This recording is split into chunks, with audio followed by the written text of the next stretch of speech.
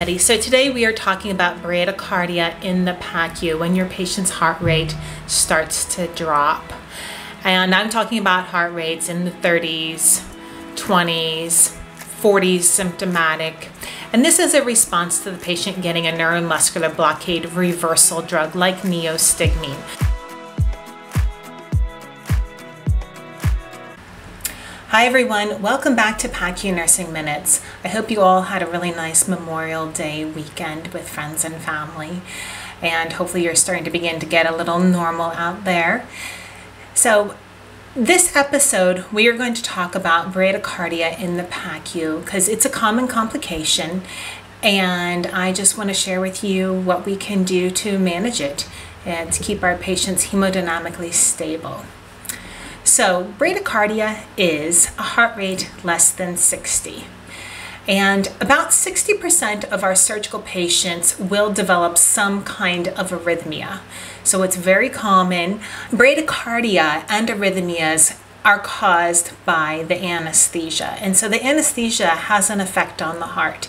And those effects um, are um, come about through conduction delays, um, so sevoflurane, isoflurane, they cause SA node delay.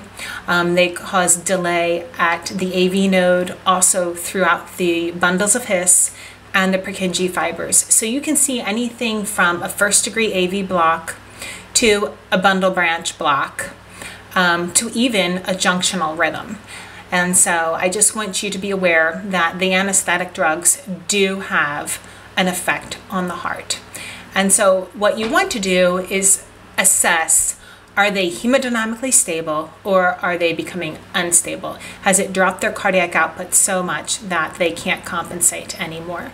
So, what you're going to be doing is you're going to be looking at that heart rate, you're going to be assessing the rhythm, and um, you know, a first degree block we I always inform anesthesia that I've identified it and it what and you know and I look at the 12 lead from pre-op and let them know that this has been noted.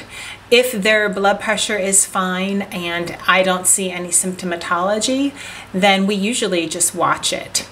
Um, but if they become bradycardic, uh, usually below 40 into 35 or 30 or sometimes you see 29 28 that usually below 35 there's a standing order to give um, glycopyrrolate. And so glycopyrrolate is an anticholinergic drug.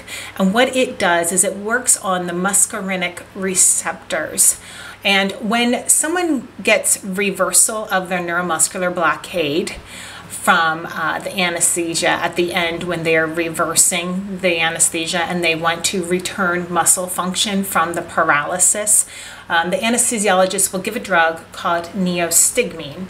Well, neostigmine is a cholinergic drug. And so what that is going to do is it's going to enhance the amount of acetylcholine at the synaptic junction to return muscular function. It's going to inhibit acetylcholinesterase and there's going to be a profound um, a nicotinic, which is the acetylcholine response, and muscarinic response. And so the anesthesiologist always gives either atropine or glycopyrrolate with the neostigmine.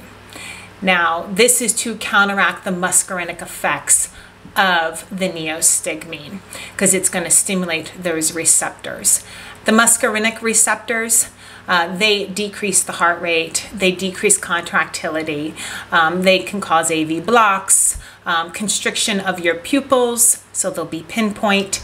Um, also can cause bronchial constriction, salivation um, when they give the neostigmine, and tear production. And also increased secretions um, in the nasopharyngeal cavity.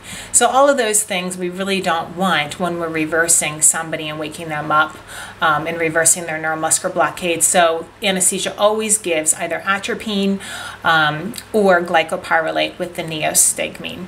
Now, sometimes you need a repeat dose because the bradycardia um, continues due to the muscarinic effects of the neostigmine. So that's why sometimes you will need to give a dose of glycopyrrolate in the PACU. And it's usually 0.2 milligrams IV given to treat that bradycardia. Glycopyrrolate works gently, um, gives a nice increase in heart rate about 20 to 25 points, and it's sustained. Um, so it's longer acting than atropine, and it's a preferred management for bradycardia um, after reversal in the PACU. And you always want to find out is this bradycardia um, symptomatic? So you're going to ask your patient, do you feel lightheaded? Are you dizzy? Are you having any chest pain?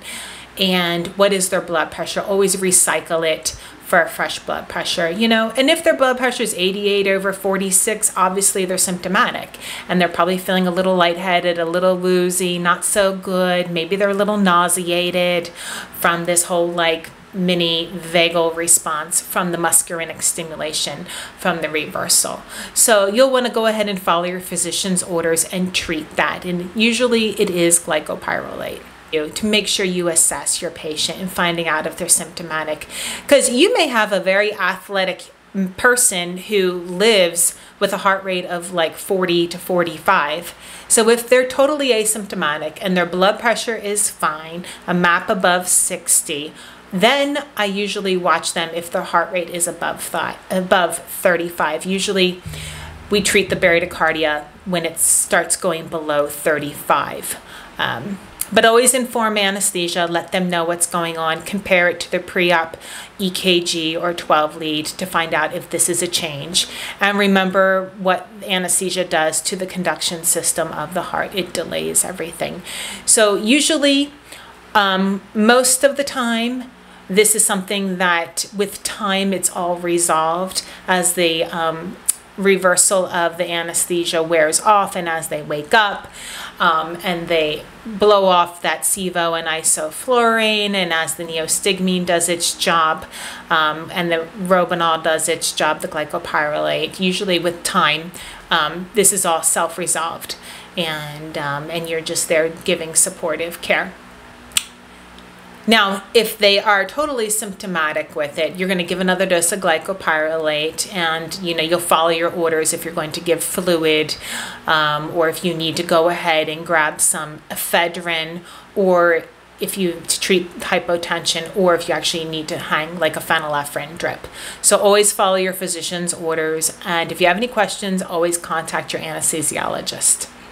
Hey, everybody out there, I'm really excited to share with you um, what is coming next week. I have an awesome interview with Jessica Garibay and Kathleen Shearer, and they work at the Community Surgery Center North in Indianapolis, Indiana. And they are going to share with PACU Nursing Minutes what they did to address WAG in their PACU and implement a scavenging system. So definitely you don't want to miss that. Stay tuned. As always, Thank you for watching. Please, if you feel like I'm giving you value added, subscribe, share with your colleagues, drop me a comment. I would love to hear from you. Thank you. I'm Nurse Kathy.